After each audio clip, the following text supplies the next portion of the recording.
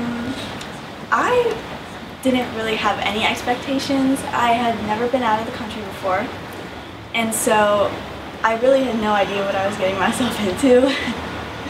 uh, tell you the truth, I'm not very religious, and so the thing I thought of mostly was like another stamp in my passport. And uh, because I never thought I'd come down south ever. This is the most third world country I've ever been in. Uh, I didn't have any real expectations about El Hogar or Honduras. I wanted to come and uh, experience El Hogar. I wanted to experience Honduras. I think I knew it wasn't a mission trip where we were coming to do projects and um, help here. It was really more to come and be with the children. Play with the kids, interact with the kids, just kind of experience their life. Um, and then that all changed. We really didn't do stuff for them. Like we didn't do stuff for them, we did stuff with them, we played with them, we spoke with them, we ate with them. Um, it was just really great spending time with the kids, seeing them in their classrooms, um, and just realizing that no matter where you are in the world, kids are energetic and they love to play. So I made it a point each each evening to interact with a different set of kids. Uh, one night I played soccer with the young kids and also with the high school kids who are extremely good. So that was a bit humbling. Uh, I got to play baseball with some kids who didn't know how to play baseball. We played Uno. I introduced the kids to uh, Slapjack. And they played that for the first time and they, they were thrilled at the idea that you get to slap cards to win. Kids are kids and you know, they, they know how to work people. you know, they get in trouble, they play, they, you know, we've got parents who all they want is the kids have better than what they had. It's not about coming down and doing, and especially not about solving anything or fixing anything.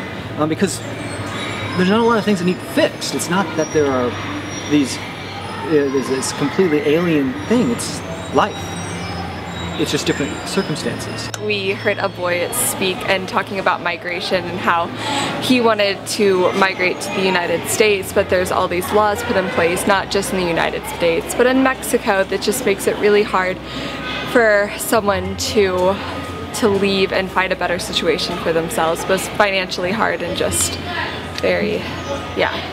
If someone learned one thing on this trip, what I would want them to learn is how connected we all are and how decisions uh, we make in the US um, impact people down here. Decisions that we make in our daily lives, how much water we consume. I used to take like 15 minute showers. How much trash we throw away. Not throwing our old stuff out just because we don't want it anymore, we know someone else will use it.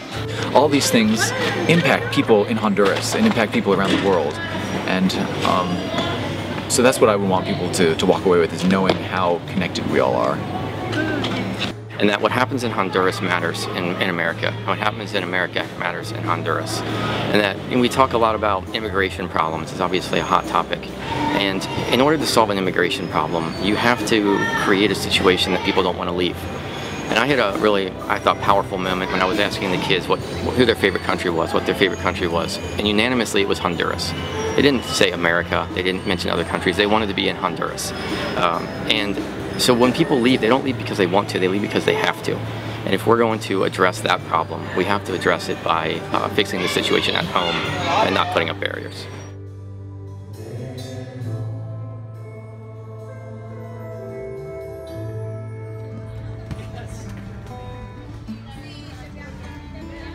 Oh man, highlights, probably dancing for sure. Um, did a lot of dancing. I'm, I'm not gonna talk myself up as I'm some professional dancer by any stretch of the imagination, but I think um, the dancing is something that transcends cultures and language barriers and everything like that. If you can look like a fool, you can make anybody laugh, you can make anybody happy, and I, I, I did a lot of that on this trip, so at least making a fool of myself. I don't know about the happy, but... home visits, right? Oh yeah. Yeah, definitely home visits. Just, it's like we drive out into the Tegus and you get to see what it's like. A lot of the houses were just one room houses um, with one bed even though they might have multiple people. And um, even though the living conditions weren't that great, um, every one of them seemed happier than a lot of people I know back home. my highlight was we work on a project and so I have to say I was a little worried that we were going to be painting and I'm not a painter but it was working in the garden. We helped build um, raised beds um, and we helped um, clear out some grasses but then we got to plant and so it was exciting to see that um, the kids are learning how to garden and that we were eating the food that they were harvesting from the garden while we're here and it's cool knowing that after we leave they're going to be eating the cucumbers and the green beans and the tomatoes and the avocados that we planted um, year after year and that, um, that I feel like there's a part of us that we're leaving here with them.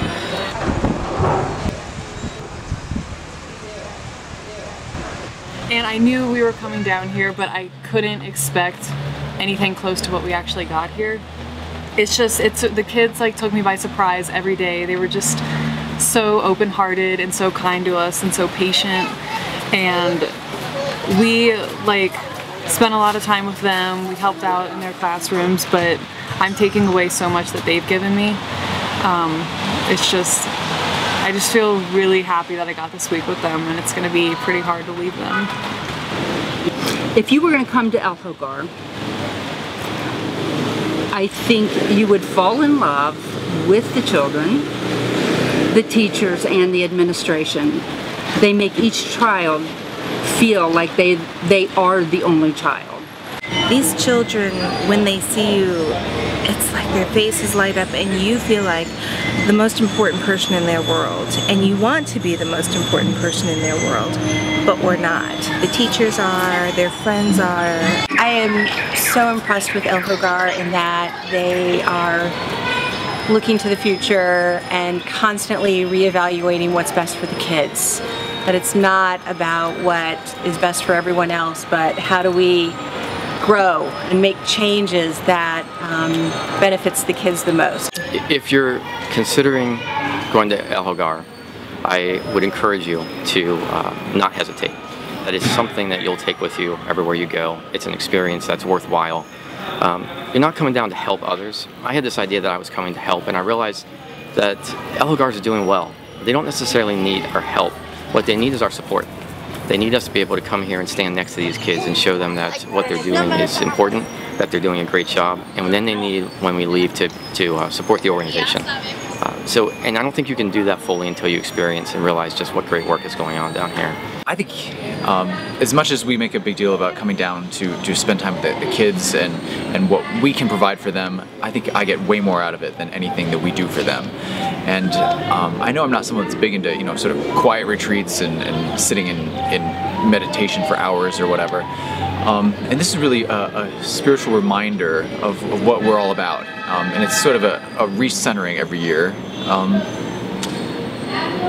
and I think it just really a significant part of my spiritual life is coming here and and being reminded what the church is supposed to be doing, what what you know what Christianity is about. I actually did see God in pieces, and I never thought I would find a new connection with Him, and I did through like the many wonderful things El Hogar does. Not just the children, but like the staff members like Erica and the different teachers you see, and just like the wonderful mothers and grandmothers who open their doors to us for their home visits. This is the place where you see God, my friend. It's just it's it's a beautiful place and one of my most favorite spots in the entire world. And uh, just these kids are amazing. Just what El Hogar itself is doing for these kids is amazing. And it's just something that I'm really blessed to be able to be a part of.